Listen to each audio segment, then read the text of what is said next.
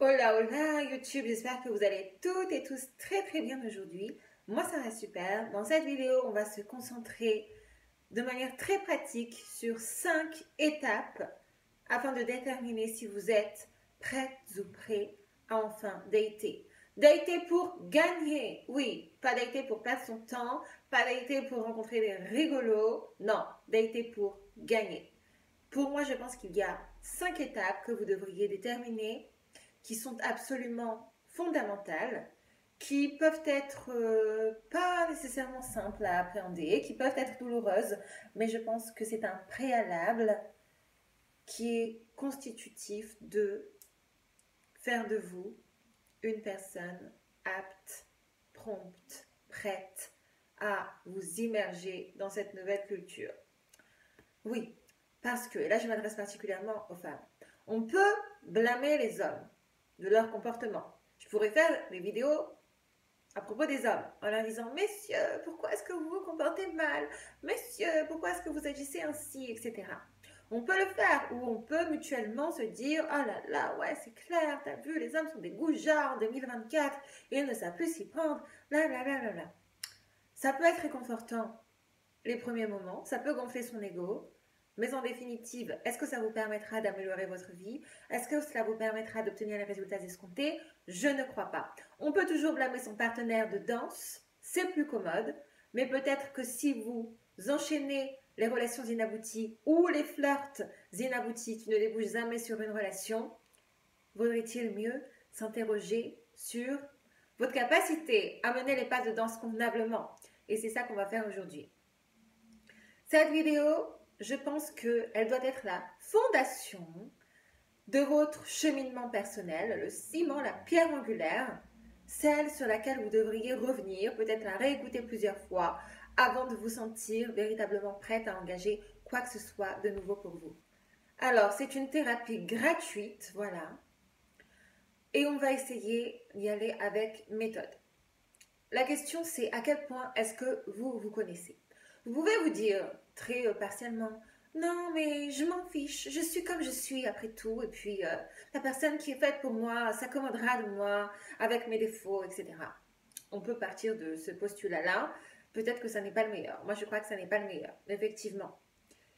Peu importe votre âge, que vous ayez aujourd'hui 20 ans, 40 ans, 70 ans, c'est pas le problème. Il faut que vous ayez la force de remonter vos 17 premières années. C'est celle-là qui vous ont constitué en tant que personne, en tant que femme ou en tant qu'homme. Là, ça s'adresse vraiment aux deux sexes. Et c'est là où il faut aller chercher les récurrences dans vos comportements. Parce qu'il y a une phrase qui me fait toujours un petit peu sourire lorsque j'entends des femmes dire Oui, mais Yasmine, je ne tombe que sur le même type d'homme. Je ne tombe que sur des hommes qui veulent être abusifs envers moi. Je ne tombe que sur des hommes qui veulent me voir à des heures inappropriées. Je ne tombe que sur des hommes qui ne veulent pas de sérieux avec moi. Je ne tombe que sur des hommes qui sont radins avec moi. C'est pas que vous tombez sur ces hommes. C'est pas une météorite. Ils sont pas venus comme ça. Boum. Et vous n'avez pas eu d'autre choix que de les sélectionner. Non. C'est que vous ne choisissez que le même type de profil. Votre sélection, votre capacité à opérer une sélection hum, avisée n'est pas au point. C'est ça la question fondamentale. Et donc c'est une question de responsabilité. On peut blâmer tout le monde. En définitive, c'est vous qui choisissez. Personne ne tombe là soudainement devant vous. C'est vous qui opérez des choix qui ne sont pas les meilleurs pour vous. Et pour cela, force est de présupposer que cela vient de votre enfance, de ce que vous avez vécu, de ce que vous n'avez pas encore eu la force d'affronter véritablement. Et si vous ne le faites pas, vous allez rester bloqué dans le même cheminement ou dans les mêmes récurrences qui ne vous bénéficient pas. Une liste donc très commune d'insécurité que je vais vous livrer ici, non exhaustive bien sûr, mais je pense que si vous commencez par là, ce sera déjà très bien et qui nous permettront de voir où est-ce que vous en êtes, laquelle vous correspond ou laquelle vous corresponde au pluriel, et ensuite on verra ce qu'on peut en faire. Premièrement, bien sûr, les problèmes avec votre père. un père absent, un père trop peu présent, un père abusif ou violent. Qu'est-ce qui s'est passé dans les premières années de votre vie avec vos parents, avec la figure paternelle? Ou peut-être que vous étiez en présence de un homme qui était là, mais qui ne vous témoignait jamais d'amour. Ou alors qui vous faisait des cadeaux, mais jamais d'affection. Ou alors vous avez vécu le divorce de vos parents de manière très complexe. Vous avez vu qu'ils violentaient votre maman ou qu'ils violentaient vos frères ou sœurs, etc. Tout ça, il va falloir le confronter. Vous pouvez prétendre que cela n'a pas joué de rôle, mais regardez votre historique avec les hommes, votre historique relationnel. Si vous n'avez pas réglé cela, très souvent, vous allez être dans la volonté de prouver, prouver votre amour, de montrer à un homme à quel point vous êtes spécial parce que vous n'avez pas eu ce sentiment-là lorsque vous étiez enfant. Vous êtes constamment en train de vouloir lui dire Regardez, j'ai de la valeur, choisis-moi, choisis-moi. Ça, cela découle de la relation que vous avez établie avec votre père. Ensuite, la relation avec votre mère. Très souvent, très souvent, les mamans sont présentes. Les mères qui sont dans une position de monoparentalité c'est de plus en plus le cas, peut-être que c'est votre cas que vous avez été élevé seulement par votre mère, eh bien, elles sont un petit peu là à tout faire, elles doivent subvenir à tous les besoins, elles doivent être au four et au moulin. C'est très compliqué et donc forcément vous nourrissez beaucoup de respect pour elles, mais il n'en demeure pas moins que c'est aussi une femme avec ses propres problèmes et que souvent elle ne les a pas réglés, qu'elle vous impute cela, peut-être qu'elle vous reproche des choses, peut-être qu'elle agit comme une femme qui sait tout sur tout et que cela a joué un grand rôle dans votre construction. Peut-être qu'elle a favorisé vos frères ou vos sœurs à votre détriment et que vous n'avez jamais osé être confrontationnel dans cela, que vous restez même maintenant à 20 ans ou à 30 ans dans ce rôle d'enfant et que vous n'osez pas aborder avec elle la façon dont elle vous a élevé et à quel point ça a pu vous brimer, à quel point ça a pu vous déranger, à quel point hum, sa parentalité n'a pas été la meilleure qui soit. Vous avez le droit de le lui dire maintenant. Je pense que c'est fondamental même. Donc vous pouvez aimer votre mère, mais aussi euh, vous avouer à vous-même qu'il y a des choses qu'elle a fait qui n'étaient pas top ou qu'elle a manqué certaines choses qui ont un impact désormais dans la façon dont vous vous percevez et dans la façon dont vous appréhendez vos relations. Troisième moment, troisième moment, problème d'estime, extrêmement important. Vous ne vous êtes jamais senti spécial à l'école, dans votre cocon familial. Et donc, aujourd'hui, vous avez peur, vous ne voulez pas attirer l'attention parce que jamais on vous a fait ressentir que ce que vous disiez, que ce que vous pensiez avait de l'importance. Résultat, vous surcompensez en essayant de vous faire aimer d'une autre manière, soit en faisant des cadeaux, soit en offrant des faveurs, de quelque nature qu'elles soient, soit en acceptant d'être intime, de coucher très rapidement, espérant ainsi obtenir l'amour de l'homme que vous convoitez, soit en acceptant des propositions de rendez-vous à 23h ou à minuit, pensant que là aussi, pensant naturellement que là également, l'homme va vous récompenser pour cette diligence et pour cette présence que vous lui octroyez, Scoop, cela n'arrivera pas, mais vous pensez que c'est le cas parce que vous avez une faible estime. Ensuite, quatrièmement, problème de comparaison. Vous n'avez jamais été la plus populaire à l'école, vos copines étaient plus populaires que vous, vos sœurs avaient un traitement de faveur par rapport à vos parents, vous n'avez pas eu les mêmes diplômes qu'elles ou que vos frères, etc. Vous avez toujours ressenti cette compétition-là. Aujourd'hui, que vous êtes adulte, vous vous dites que, eh ben, ok, maintenant les règles ont changé et vous pouvez faire autrement. Comment vous faites? Vous voulez constamment avoir hmm, la dernière crème à la mode, le dernier produit de maquillage à la mode, le dernier sac à la mode, vous faites de la chirurgie, vous achetez tout un tas de produits pensant que cela va être de nature à combler votre insécurité et à masquer finalement votre problème qui remonte à bien, bien, bien plus loin. C'est inopérant, vous l'aurez compris, et ça ne fonctionnera pas. Ensuite, insécurité physique. Vous voulez constamment vous améliorer, améliorer votre potentiel physique pour coller le plus possible au standard de beauté actuel. Et ça apparaît, ça passe par tout un tas de choses, souvent par des dépenses complètement excessives. Et ainsi, vous pensez que comme cela, eh bien, les hommes ne pourront que vous aimer. Encore une fois, c'est la même chose. Celle que vous êtes aujourd'hui, vous pouvez faire tout ce que vous voulez, ajouter tous les artifices que vous souhaitez. Celle que vous êtes en vous-même sera toujours vide si vous n'avez pas été assez courageuse pour vous poser devant vous-même avec les insécurités que vous avez eues dans votre enfance, parce que vous pouvez faire tout ce que vous voulez. Dans votre tête, vous serez toujours cette petite fille qui avait eu un problème de vision d'elle-même dans son enfance.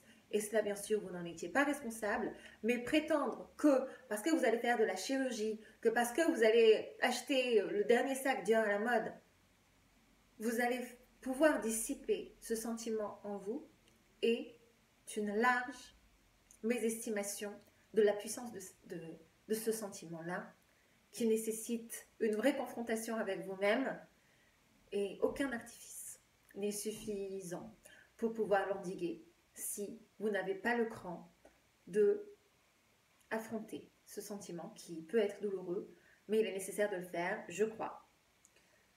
Enfin, abus.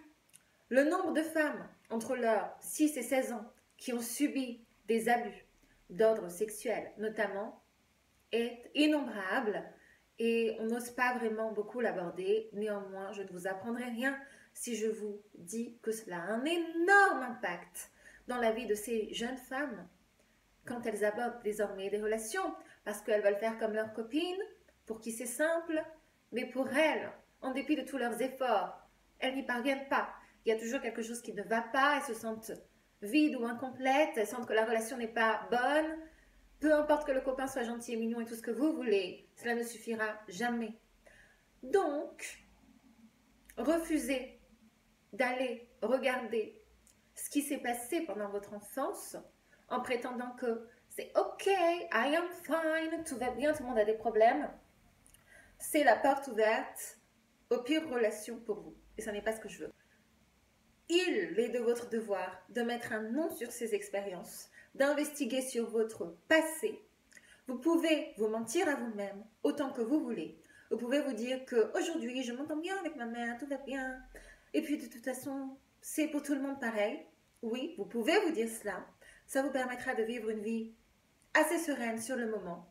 Mais sur le long terme, ces choses-là que vous cachez en vous-même sont un magnète pour tous les prédateurs et pour tous les hommes qui voudront abuser de vous, de vos faiblesses et de votre naïveté. Je ne crois pas que c'est sur ce mode-là que vous vouliez vivre. Par conséquent, il est désormais de votre responsabilité, à vous et à vous seul, que d'entamer ce chantier. Peut-être que quand vous étiez enfant, personne n'a su vous protéger. Peut-être que quand vous étiez enfant, personne n'a su vous aimer, n'a su vous donner de l'affection. Maintenant, c'est votre boulot d'y aller. Peut-être que vous n'avez pas envie d'aller voir un psychologue ou un thérapeute. Ça n'est pas grave, vous pouvez le faire vous-même. Vous pouvez trouver quelqu'un, une écoute, une oreille attentive à qui en parler. Vous pouvez vous en parler avec vous-même si vous sentez que vous êtes suffisamment bien pour le faire. Vous pouvez écrire le but, c'est que tous les jours, vous reveniez sur ce qui s'est passé dans votre vie, sur ce qui vous a dérangé, sur ce qui vous a brisé.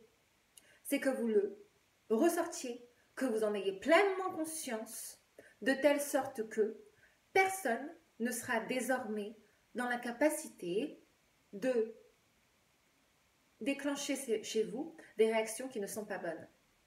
L'autre écueil fondamental que vous ne devriez pas faire, c'est vous dire que tout va bien parce que vous avez été blessé, par exemple dans le passé, allez chercher un homme que vous allez manipuler, que vous allez blesser à votre tour pour vous donner un semblant de contrôle. Ça, c'est ridicule. Ça, je vous invite cordialement à ne jamais faire cela. D'accord? Parce que les hommes que vous rencontrez désormais dans votre présent, ou ceux que vous rencontrerez dans le futur, ne sont pas responsables de vos traumatismes passés. Et si vous n'avez pas été assez brave pour les surmonter, pour les affronter, ça n'est pas de leur faute. Voilà. Donc, de l'autre pan, de l'autre côté de la rivière, il y a les hommes qui voudront vous contrôler. J'en ai déjà parlé dans ma précédente vidéo. Et cela, vous pouvez apparaître très joyeuse et très confiante. En apparence, il n'en demeure pas moins que les plus malins d'entre eux sauront très bien déceler les incohérences dans vos comportements et savoir que si vous êtes maladroitement hmm, trop expansive dès le début, cela traduit une peur de l'abandon.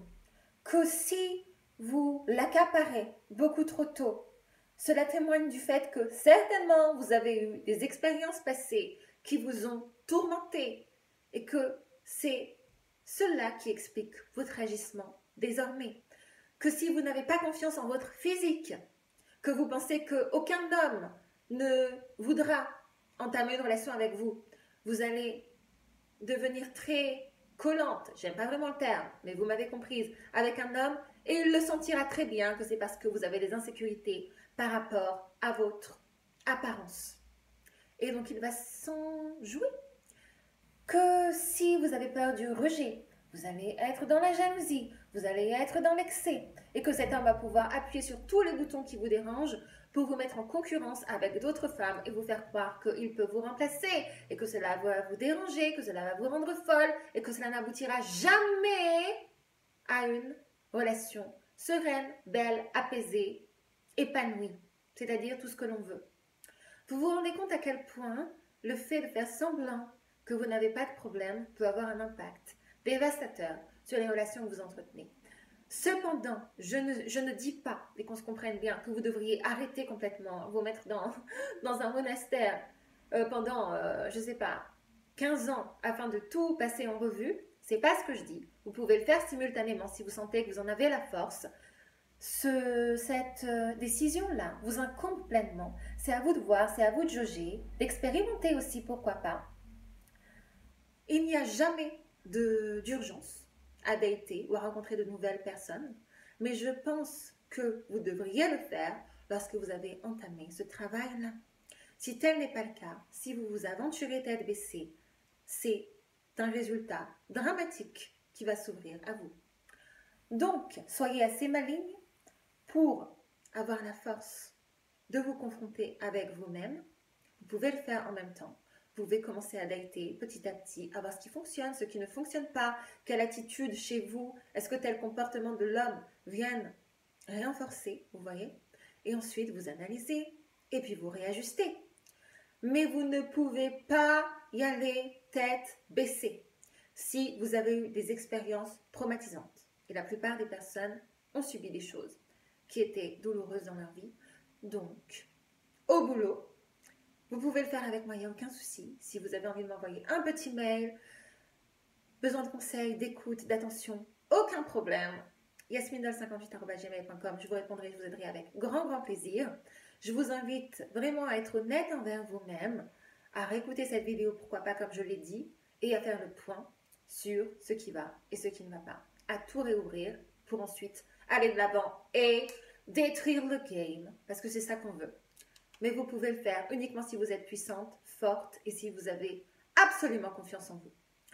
Voilà, c'était tout pour cette petite vidéo. J'espère qu'elle vous aura plu. C'était cinq petites choses très pratiques à aller voir en vous. Et je suis sûre qu'une fois que vous l'aurez fait, ça changera drastiquement la vision que vous avez de vous-même et la manière surtout dont vous appréhendez les relations parce que tout commence par soi-même. On ne peut pas éternellement blâmer les hommes. Je vous fais de gros, gros bisous. Si vous avez des questions, des thèmes que vous voudriez que j'aborde la prochaine fois ou dans une prochaine vidéo, n'hésitez surtout pas à me les soumettre. Je me ferai une joie de le faire parce que le but c'est que ce soit interactif et que ça vous parle. Et en attendant une prochaine vidéo, prenez bien, bien, bien soin de vous et gros, gros, gros bisous. Bye